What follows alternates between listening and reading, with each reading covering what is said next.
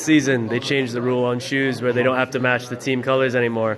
What can we expect out of you? You being one of the best shoe collectors in the NBA. Uh, I mean, a lot, honestly. Um, I've been uh, a lot of stuff. You know, starting out the early preseason, I wore a couple of Reeboks, Iversons, um, a couple of Adidas, uh, old school shoes, um, and uh, just uh, a lot of different like Preludes and Kobe's that, uh, that we weren't able to wear until like, you know, uh, Black History Month and uh, colors the way should come into the shoes, and it's not really a big problem. But now that it's open, you know, I think I'm, I'm gonna have a lot more stuff. You know, I got so many people that customize my shoes. I got probably like 20 different pair of shoes that's out there right now with different people that customize them. So I can't wait to get them back. Uh, I actually have a person that's coming here this weekend that's bringing me a pair, uh, like four pair that she customized for me. You know, so I, I can't wait to see them. I got a lot of stuff in store, and uh, I just hope the fans enjoy them as, as much as I do uh, uh, making them. Really. Can we have a hint at what one of those customized shoes? Or I remember last year you had those Simpsons ones. Um, you will see a couple of pair. Um, I think the ones that's going to be coming here soon. Uh, she did Rick and Morty, uh, the Boondocks,